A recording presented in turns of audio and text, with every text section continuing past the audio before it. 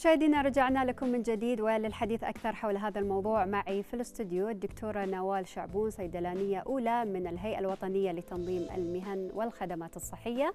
ومعي كذلك الدكتورة دلال الرميح استشاري الغدد الصماء والسكر بمستشفى الملك حمد الجامعي. أهلا وسهلا فيكم. أبتدي معك دكتورة نوال. طبعا الرقابة مهم فيما يخص يعني هذه الأمور خصوصا ما يتعلق بالعقاقير. وما يتعلق بوجود هذه الأدوية وانتشارها بهذا الشكل يعني في كثير من الجوانب وأيضا مواقع التواصل الاجتماعي. نبي نتكلم عن دور الهيئة في الرقابة فيما يتعلق بهذا الموضوع. آه عموما المنشطات في نوعين من المنشطات عندنا يعني بشكل عام اللي يستعمل الآن. نعم. في هي في قسم القسم الأول اللي هي أدوية يعني تصرح كدواء ويستعمل كدواء وفي النوع الثاني الشق الثاني اللي هي تسمى منشطات وتروج كمنشطات. الشق الأول هي المسؤول عنها الهيئة. القسم الثاني يعني هي أساسا تصنع كمنشطات رياضية وليس كأدوية. يعني ما لها أي مبرر علاجي ولا يستعمل كعلاج. الجزء الأول اللي إحنا المصرح له مصرح كدواء كعلاج. نعم.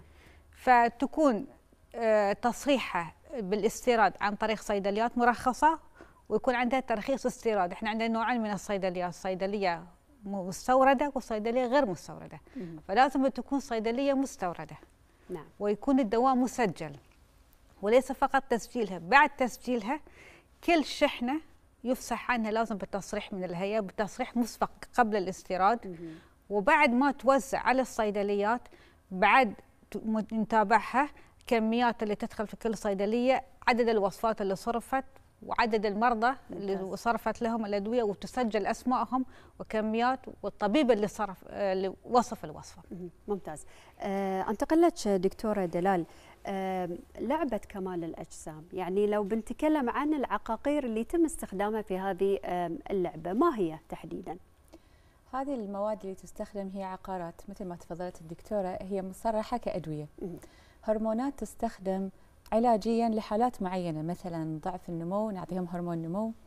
آه في ناس عندهم نقص في هرمون الذكورة تستوستيرون ممكن نصرفه ولكن يساء استخدامها فتستخدم من قبل بعض الرياضيين لتحفيز نمو العضل.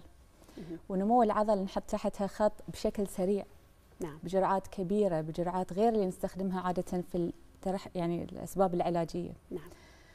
وأيضا يستخدمونها لأنها تزيد مؤقتا كفاءة العضلات تحرق الدهون فتعطيهم الجسم اللي يطمحون له بشكل سريع.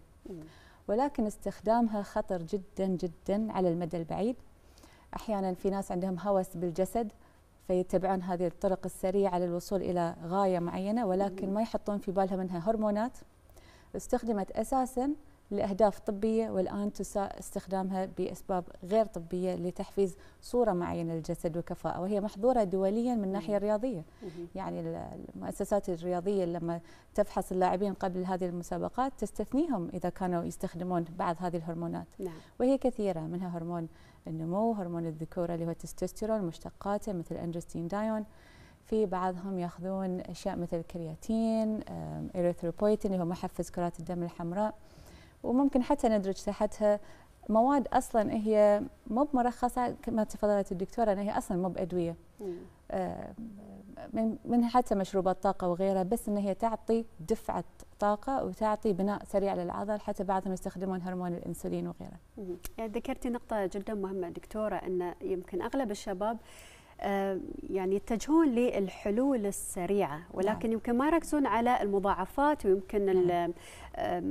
خلينا نقول يمكن الآثار الجانبية اللي راح تطلع هي ما بتطلع في سنة وسنتين لكن صحيح. راح تطلع على مستوى بعيد أكيد صحيح. دكتورة نوال شنو هي الإجراءات المتخذة علشان يتأكدون من سلامة الدواء عادة طبعا إحنا الاستيراد يكون عن طريق لازم يكون أول شيء نسجل المصنع نفسه بعدين المنتج عشان يسجل في كم من الأوراق تطلب مثلا ترخيصه في بلد المنشأ نشترط إنه يكون تسوق في بلد المنشأ سنة قبل استيراده. آه نتأكد من جودة الدواء يحلل قبل التصريح بتسجيله. لما يكون مثلا في أدوية خاصة مثلا أدوية الدواء في المستشفيات كل شحنة تحلل. ف ممتاز. وغير طبعا مثل ما قلت لنا في أدوية اللي تحتاج اللي هي تكون خاضعه للرقابه تتأكد من عدد الوصفات الطبيب اللي وصف الكميه اللي وصفها. ف... يعني هناك في رقابة دقيقة على كل شيء على الدواء واسم الطبيب اللي يعني آه كتب الوصفة والأعداد موجودة والصيدليات. هذا معناه إن هناك يعني في رقابة حتى المخالفين تحول لجان تأديب وفي قضايا حولت للنيابه امم ممتاز. آه، دكتورة دلال آه، نبي نعرف شنو أضرار هذه الهرمونات هرمون أو هرمونات بروتين كمال الأجسام أو اللي تستخدم لكمال الأجسام. شنو هي المضار؟ سؤال جدا مهم لأن مهم الشباب يكونوا واعيين للمضار نعم. المضار منها أشياء تطلع سريعا ولكن الأهم منها والأخطر تظهر بعد سنوات أو حتى بعد شهور من استخدام هذه الأدوية. نعم. وتفاوت المضار الجانبية حسب المادة اللي مستخدمة من ناحية العقاقير هذه اللي تستخدم. مثلا إذا تكلمنا عن هرمون التستوستيرون وعلى فكرة هرمون التستوستيرون هرمون ذكورة ولكن ليس مقتصر أخذه على الذكور في إناث أيضا يأخذون هرمون التستوستيرون لبناء عضل يشكلون الجسم بطريقة أفضل. فهرمون التستوستيرون بشكل عام ممكن يسبب آه، احتباس للسوائل في الجسد، زيادة كرات الدم الحمراء. كرات الدم الحمراء اللي هي زي الهيموغلوبين تزيد المفروض لنسبة طبيعية إذا زادت وزادت ممكن حتى تجلطات تصير في الدم وريدية أو شريانية أو حتى ذبحات آه، صدرية بعيد الشر أو دماغية آه، ممكن ناس تاخذ هرمون النمو. هرمون النمو ممكن يسبب احتباس سوائل أيضا ممكن يسبب آلام في المفاصل زيادة في السكر أو حتى الإصابة بمرض السكري. آه نرجع حق هرمون التستوستيرون على مثلا الإناث والذكور. يظهر حب الشباب انفعالية وعدوانية وعصبية. المراهقين اللي ياخذونه يكون عندهم شجار أكثر يكونون عصبيين وعدوانيين جسديا أكثر. آه، لدى الإناث تدهور أو تلخبط الدورة الشهرية. تأثر عند الذكور والإناث فرص الإنجاب. ممكن ظهور النمو والشعر بشكل مزعج لدى السيدات وممكن التثدي لدى الرجال. فلها مضار. المضار مثل ما ذكرت ممكن تصل للوفاة إذا سببت ذبحات صدرية أو جلطات. فهي فعلا أمور جدية صحيح. ولازم تأخذ بمحمل الجد. صحيح، يعني دكتورة يمكن يعني بعض الشباب يقول إن مثلا أنا ولا مجموعة الشباب اللي معي ما حد طلع عليهم هذه الأعراض، فمعناه إنه مو شرط إن الأعراض تكون شاملة الكل. بس مثل ما ذكرتي النقطة هذه إن الأعراض ما تطلع بشكل سريع، تطلع بعد سنوات. نعم. يعني حتى يمكن إذا توقف عن تناولها، هل ممكن إنها تطلع بعد؟ ممكن في دراسة أجريت على مثلا عضلة القلب لدى اللي يتناولون هرمون التستوستيرون فلقوا أن الجانب الأيسر من القلب يتضخم بنسبة 20 إلى 25% هذه ما يحطونها في ذهنهم. بعد التوقف عن الدواء ممكن تتقلص العضلة بس ما ترجع إلى حجمها الطبيعي. تبقى يعني. درجة من التضخم في القلب موجودة في قصور في, في وظيفة نعم. القلب ممكن إذا استمر واستمر يصير في قصور في عضلة القلب. مم. وهم ما يشوفون الخطر البعيد وللأسف مروجي هذه المواد يروجونها بثقة مطلقة. طبعا إذا بيعرض. صورة يعني صورة لجسم إيه. بطل مفصل وبالشكل اللي كل شاب يحلم فيه أي. أكيد ما بيفكر في الاثار السلبية بتوصلك لها النتيجة وبسرعة وإذا وبسرعة. دخلتي اثنين الجيم واحد آه، واثنينهم نفس الحمية ونفس. المكاين ونفس المجهود اللي ياخذ المواد هذه بسرعة, بسرعة. جسمه يتشكل هو أكيد يبي النتيجه فيتحفز إنه سعيا لصورة الجسد صحيح. وليس سعيا للصحة. مم. إحنا نبي ثقافة صحة. صحيح. نبي مجتمع صحي. ممكن يحصل على هالجسم الجميل المفتول العضلات ولكن بشكل صحي. بالتدرج لكن بياخذ وقته معلش مستعيلين صح. ولا أن تلعب صحتك. نعم. انتقل لك دكتورة نوال. طبعا نبي نتعرف على الإجراءات الرقابية اللي تتخذها الصيدليات في هذا الجانب. إحنا يعني الحمد لله يعني آه، مثل ما قلنا إحنا مسيطرين على الوضع. آه، سنة 2018 كان عندنا 598 زيارة تفتيشية في جدول دوري للتفتيش على الصيدليات. كان فيها 16 مخالفة من 598 زيارة 16 مخالفة تخص الأدوية ولا واحد فيهم كان تخص الأدوية يعني كمنشطات. لأن الكميات اللي أساسا هي أدوية مستشفيات ما تباع في الصيدليات. وإن يعني الصيدليه حبت تحط لك هي كميات بسيطة جدا لا تذكر ما تكفيه يعني يعني مثلا أقصى شيء ممكن يحط عنده مثلا ست علب وهو اللي بيستعمل حق الجيم وحق كمنشط على الأقل على الأقل في الجرعة الواحدة يأخذ له يمكن 10 10 إبر عشان يعطي المفعول. ف يعني الكمين موجودة في الصيدلية وطبعا هي بوصفة طبية ما يقدر ياخذها من غير وصفة طبية. وما في الطبيب ممكن يسمح لنفسه إنه يصرفها. الواحد عشان كمال أجسام. بعد مع وجود وصفه طبيب أكيد آمن لأنه يمكن بياخذها بحسب يعني الكمية لا ولا لا بيستعمل الطبيب يوصفها كعلاج. كعلاج كعلاج لكن ليس ككمال الأجسام. هذا اللي قاعد أقول يعني إن أنت تل لما تلجأ لطبيب إيه؟ ويكتبها لك هذا جانب ما هو لا الدكتور لما يوصفه ويتابع حالة المريض بالضبط أول ما تبتدي الأعراض لو تطلع أعراض جانبية صحيح. لأن الجرعات المحددة هي جرعات آمنة مه. لو تبتدي تطلع الأعراض الجانبية فالدكتور ممكن يتحمل يسوي صحيح. control عليه وقف صحيح يعني التستوستيرون نفسه هذا يعالج في العقم حالات العقم مم. عقم الرجال مم. لكن أنا لما أستعمله ب overdose كميات أكبر راح أسبب نتيجة عكسية نتيجة عكسية صحيح. ليش؟ لأن الجسم قاعد يعني مثل ما تقولين يسيطر على الوضع فيمنع آه، آه، يوقف إنتاج التستوستيرون في الجسم مم. فما في تستوستيرون فيوصل مم. لدرجة العقم مم. عشان كذا حتى أنت مثل لما توقف مثل ما قالت فاطمه الدكتورة أنت لما توقفين استعمالها خلاص الجسم وقف إنتاج الماده هي ماده طبيعية موجودة في الجسم. فخلاص. ردود الأفعال عكسيه صحيح. موجودة. دكتورة يعني في إحنا في فصل الصيف يعني مع الإجازة كثير من الشباب أكيد لأن إجازة فبيروحون طيب الصالات الرياضية والجيم. لكن يمكن الأهل يغفلون عن جانب إن آه، أبنائهم شباب قاعدين يتناولون مثل هذه المنشطات أو أو العقاقير.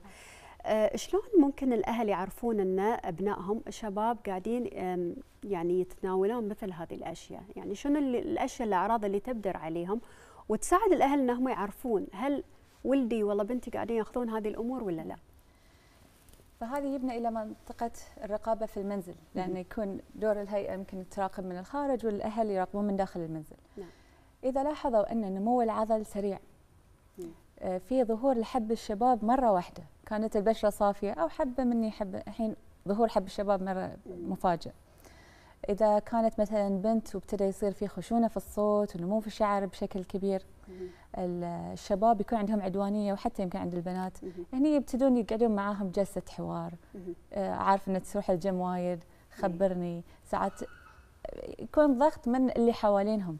نعم. مثل ما الشباب يشجعون بعض على تدخين على تجريب دواء على تجريب شيء ترى هم يشجعون بعض كثقافة انه أخذ مثلي ترى أنا بسرعة خذيت وصار جسمي كذي ويشجعون بعض مم. فالحوار مع الأهل الوعي الثقافة بأن الصحة هي الأهم صحيح وبالتدرج مم. هذه بعد حاجز مناعة ثاني للمجتمع لأن إحنا نحتاج كل واحد فيهم يكون صاحي وسليم أكيد ويؤدي دوره في الوطن صحيح. فدور الرقابة في الاهل طبعا مهم بالعكس أصلا الجانب الرياضي مهم طبعا ومفيد طبعا. تحديدا في ذي الوقت يعني صح. بدل ما يروح أماكن مثلا ما راح يستفيد منها يروح يمارس الرياضة في الصالات الرياضية ولكن يكون باعتدال بشكل صحي صح. وبعيد طبعا عن استخدام مثل هذه الأمور انتقل لك دكتورة نوال آه نبي نتعرف على آه الطريقة اللي يعني كيف يتم مراقبة صرف الأدوية اللي تكون أصلا خاضعة للرقابة مثل ما قلت لك إحنا الأدوية هذه طبعا آه، هي مجموعة معينة.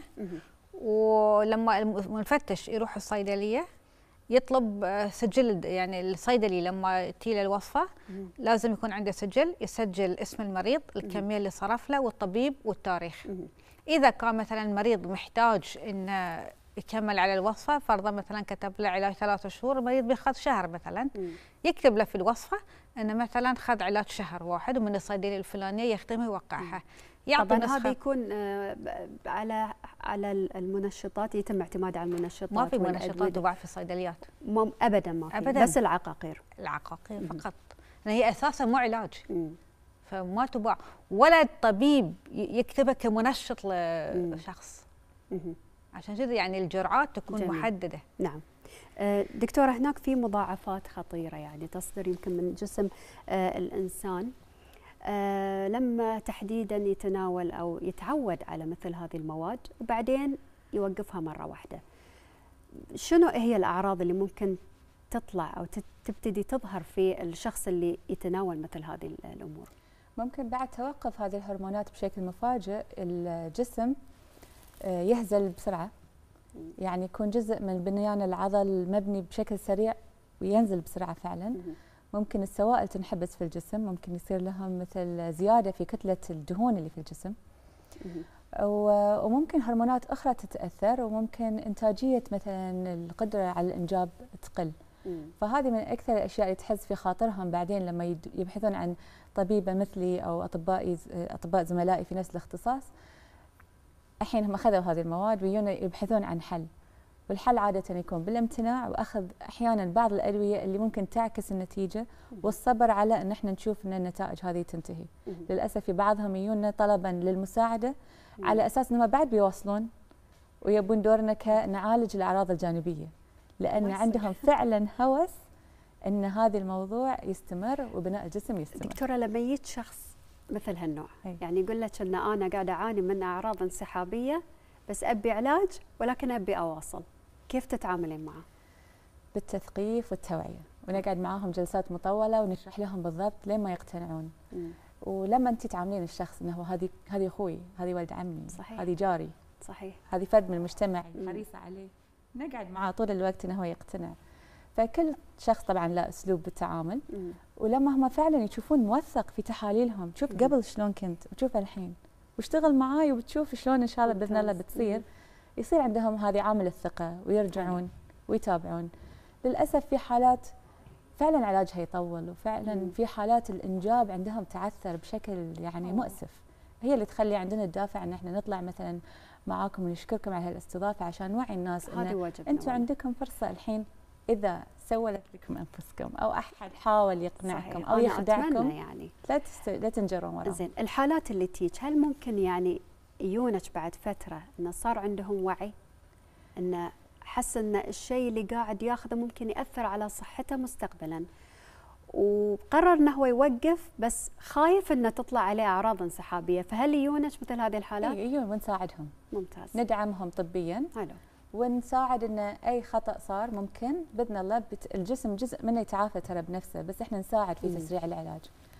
لكن أنبه بعد على نقطة يمكن ما ذكرناها إن أحيانا للأسف إذا يعني الحمد لله ما مرت علي حاله بهالشكل بس تذكر في المراجع الطبية لو صار مشاركة إبر لأن كثير من هالاشياء حقن. فممكن انتشار فيروسات مثل فيروس الكبد الوبائي B أو C آه وحتى نقص المناعة المكتسبة الايدز هذه نقطة وايد مهمة. في ناس يمكن يغفلون أنا آخذ يمكن هالإبرة في وين ومن من. مؤهل هو هاي إبرة نظيفة ولا مم. ولا وغير كذا أنا حابه أضيف نقطة بعد للدكتورة إن تفضلي. طريقة استعمال الدواء نفسه. مم. يعني يمكن الإبرة هي تنتاخذ في العضل هو راح يعطيها في الجلد. مم. صح. وين يستعملها شلون يستعملها نوع الإبرة نفسها هل الشخص اللي يعطي الإبرة أصلا متمرس ولا مختص؟ هل يتبع أساليب التعقيم وطريقة إعطاء الابره الصحيحه طبعا هو مو طبيب ولا ممرض ولا هو لا آه، يعني علاقة بالمجال الطبي. صحيح. بس هم شطار في إقناع الناس. هم عندهم الصورة تلعب دور. بصراحة رهيبة. دكتورة يعني لما تشوفين الأجسام المثالية وتطالعين مثلا طريقة تركيبها كل شخص يتمنى إنه يحصل هذا الجسم المثالي يعني. فهي أنا عندي إن الصورة أبلغ من ألف كلمة. صح بسرعة يعني أصلا ما يحتاج ما إيه، يحتاج إنه يعني يتعبون نفسهم ويشرحون لهم من يجي يقول أنا أتمنى أي. أنت تقدر ولكن في يعني في طرق في صحية نعم. وسليمة إن أنت تمشي عليها نعم. آه، دكتورة نوال آه، أنتقل لك طبعا أنت ذكرتي نقاط جدا مهمة عن طريق أو الدور الرقابي طبعا للهيئة فيما يخص الصيدليات. وكذلك شرحتي لنا بشكل يعني مفصل تشكرين عليه عن آه، كيف يتم طبعا آه، مراقبة الأدوية في آه، الصيدليات.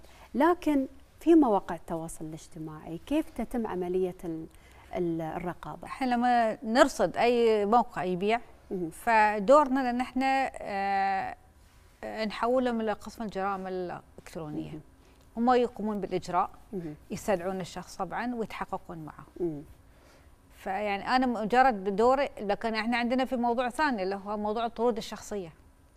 توصلنا عن طرود الشخصية وفي حالات كثيرة رصدناها. بمعنى شلون يعني يعني هو مثلا معظمهم طبعا يستوردها عن طريق البريد أي. أو عن طريق المسافر جاي يجيب معاه كمية. ويبون كميات يعني مو كمية بسيطة كميات للبيع. طبعا يوقفونه في المطار لأن كقانون أي نعم. طرود شخصية لازم تمر على الهيئة عشان تصرح لها. فلما تدعى هالكميات الكميات العلاجية معروفة. بيكون نعم. عندك كمية بسيطة وعنده وصفة تعرف إن هذا مريض يحتاجه. يكون مثلا مسافر برا وقاعد يتعالج يجيب ادويته معاه ويرجع. لكن اللي يبي يستعملها ساعة كمنشط كميات تكون كبيرة. ففي هالحالة أنا أضطر في حالات فعلا حولناها للنيابة. الإجراءات التأديبية يتم تحويلها طبعا للنيابة؟ هل يتم أخذ عليها أي مثل ما نقول رد فعل عليها؟ فعلا في حالات عندنا في أحد الصيدليات كانت استوردت دواء مصرح كدواء هرمون نمو كان. كان كمية كبيرة أكثر من حاجة البلد بكثير. اضطرينا نحوله إلى لجنة تأديب. وللأسف ما تعاونوا معنا لأن ما قدر يثبت لنا إنها باع للصيدليات. مستحيل كان يبيع الكميات هذه على الصيدليات. ما رضى يعترف. فحولناهم للنيابة. وفي نفس الوقت اخذنا الإجراء التأديبي ضدهم. سكرنا الصيدلية سنة كاملة. وسحبنا رخصة صاحب الصيدلية كصيدلي. ممتاز يعني الجانب التأديبي جدا مهم. يعني هذه صحة أبنائنا. عندنا أكثر من حالة حولناها وصدر عليهم حكم جنائي. ممتاز. يعني يعني أغلى ما عندنا هم أبنائنا نعم.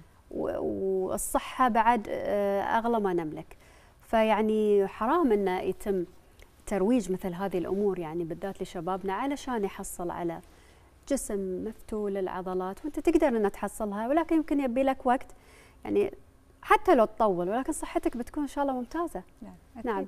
دكتورة آه، دلال يعني شلون نقدر نقنع أبنائنا الشباب إن اللي يبغي يحصل على الجسم المثالي ولكن في نفس الوقت يحافظ على صحته. أنتم أنتم كأطباء الحالات اللي تجيكم كيف تقنعونهم إن أنت تقدر توازن بين جمال الجسد والصحة؟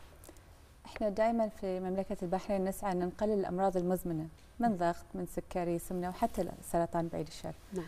فللوصول لهذا الهدف دائما نركز على التغذية السليمة ونمط الحياة الصحي بالرياضة.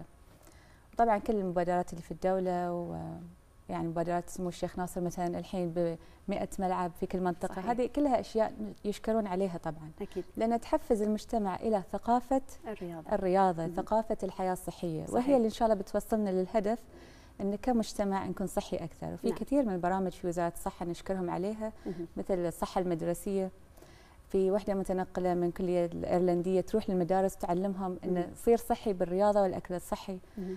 فهذه نشء كامل ينشأ على أن الحياة الصحية هي الأساس صحيح على هذه الأسس مم. ما نتكلم جسم مثالي نتكلم صحيح. صحة صحيح وأنا أضيف شغلة يعني ترى حتى في مجموعة كبيرة من شبابنا عندهم الوعي نعم. يعني أحيانا لما يعني تربطني فيهم مثلا آه، نقاشات عن الأطعمة يعني ما شاء الله عليهم عارفين ومدركين كيف يمكن ينتجون لهم وجباتهم يعني تكون متكاملة من ال carbs من البروتين. فيعني أحس إنه في وعي نعم. آه بالنسبة للمحافظه على الجسم. آه كل جسم شنو يحتاج له آه ال lifestyle الحين اللي إحنا قاعدين نعيشه في وعي نعم. في اهتمام بهذه الأمور وهذه الجوانب. حتى لو تشوفين مثلا على مستوى المحلات اللي موجودة في مملكة البحرين أو المشاريع الصغيرة أغلبها يمكن يمسكونها أو أصحابها يكونوا شباب صح. مهتمين بصحتهم صح. ويبيعون نفس الاشياء وأشياء صحية. نعم. وثقة. وتشتري من عنده وبحريني. أحسن من كذي ما في نصيحة أخيرة تحبين تقدمينها دكتورة لشبابنا لا يقتنعون بأي وعود كاذبة من مروجي هذه المواد. اللي عنده شك انه هو مثلا جسمه قاعد يروح الجيم وما يستفيد يمكن عنده نقص خليه يراجع مع طبيب مختص في الهرمونات في الغدد الصماء والسكري. خليه يشوف إذا في فعلا جانب يحتاج علاج. لكن لا ينساق وراء أوهام ورا ناس تقول لهم بعطيك cycle وبعطيك أدوية وبشيل عنك ال side effect هذه كلها وعود فاضية. لا تعرض حياتك للخطر البحرين تحتاجك. أكيد كلنا نحتاجه. دكتورة نوال. أه والله أنا في شباب كثير قاعد يطلب حتى المكملات الغذائية عن طريق الإنترنت وهي خطر جدا جدا جدا. المواد هذه لا هي مضمونة طريقة تصنيعها ولا تخزينها ولا شنو المواد اللي فيها. يعني يقول لما أنا يطلب يجيني يقول أنا بروتين أنت ليش تمنعيني؟ طيب البروتين هذا إيش فيه؟ صح. كثير من الحالات اكتشفنا إن البروتينات هذه فيها ستيرويد. فيها منشطات مغشوشة. أنت ما تعرف عنها. لا يقول لي أنت شوفي المكتوب على شد فيتامين.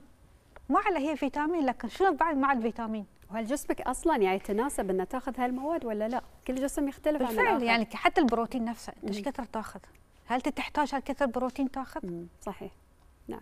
يعني يمكن مشاهدينا الكلام اللي ذكرته دكتورة نوال ودكتورة دلال أيضا إحنا فعلا اليوم شبابنا محتاجين إلى توعية أكبر في هذا المجال خصوصا اللي يصدقون بسرعة مثل هذه الأمور.